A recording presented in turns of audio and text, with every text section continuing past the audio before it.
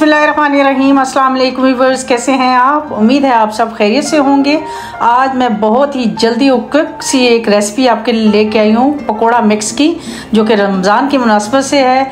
बहुत ही आपको आसानी होगी अगर ये आप बना के रख देंगे। तो चलिए हम अपनी रेसिपी को करते हैं स्टार्ट। उसके लिए जो जो चीज़ें हमें चाहिए होंगी, वो मैं आपको बता देती हूँ। सबसे पहले इसमें जाएँगे जी, हमने धनिया लिया है फोर टेबल स्पून ज़ीरा लेंगे हम, दो टेबल स्पून और आठ से दस हम लोग साबित लाल मिर्चें लेंगे। एक टीस्पून इसमें जाएगी सूखी मेथी हाफ़ टी स्पून इसमें जाएगी अजवाइन। तो इन सारी चीज़ों को हम करते हैं मिक्स मिक्सर में डाल के तो पीस लेते हैं।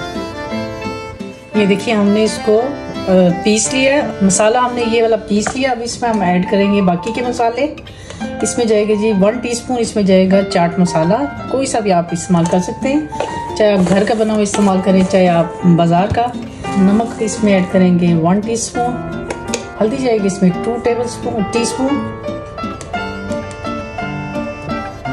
लाल मिर्च का पाउडर जाएगा इसमें वन टीस्पून बस इन चीज़ों को हमने अच्छी तरह से मिक्स कर लेना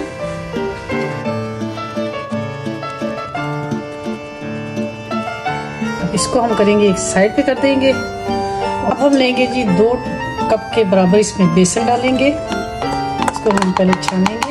एक एक करके हम डालते जाएँगे और छानते जाएँगे।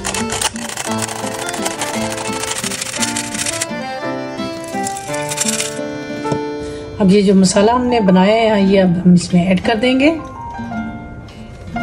ये आपका बहुत ही अच्छा सा जो बेसन है, पकोड़ों के लिए वो रेडी हो चुका है। बस अब हम इसको डालते जाएँगे किसी कंटेनर के अंदर या कोई जार ले लें आप उसके अंदर डाल के।